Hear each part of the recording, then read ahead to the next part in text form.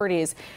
It, that's it's it's like a nightmare. You know, Andrew, I have kind of a funny story about this. So when mm-hmm. I was interviewing for the position to come down here, yes. the woman I was on the phone with was telling me, "Oh, and you know, sometimes we have reporters go, you know, down to look at the Burmese pythons. I can't even like say it. it was like terrifying me when she told me this.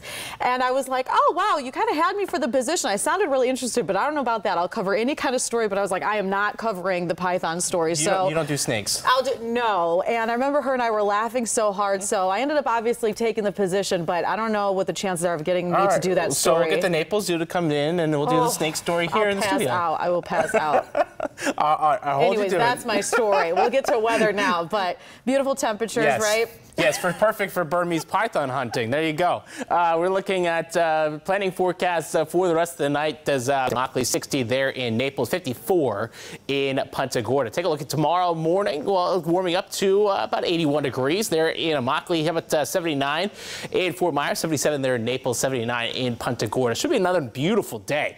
Uh, if you like the last uh, two days here, you're going to like tomorrow. Really, much of the work week. Later in the week, though, Friday we'll track a cold front. We'll talk about that in a second here. But uh, take a look at tomorrow. Beautiful day. Full sunshine expected there uh, for you through the day on Monday. Let's fast forward things to Tuesday. Well, very similar weather pattern here. Uh, waking up, sunny skies there in the morning. Now, there is a very, very weak front going to move through. And you notice maybe a little bit more clouds into the afternoon hours. Still going to stay mostly sunny uh, for you, but uh, we're just going to get another push of some drier air uh, moving on in. Let me show you that uh, particularly here. As you're getting towards tomorrow afternoon, uh, relative humidity about 45% here in Fort Myers. Get that push of some drier air moving back in on Tuesday. Yeah, down to 33% humidity. So still keeping that low humidity around, still keeping that fire danger a little bit more elevated again still tomorrow, uh, but uh, right around uh, high danger here in Lee County. The rest of us in moderate. Though, just remember, we have been running a little bit higher than the forecast the last couple days, so just kind of keep in mind things are drying out out there.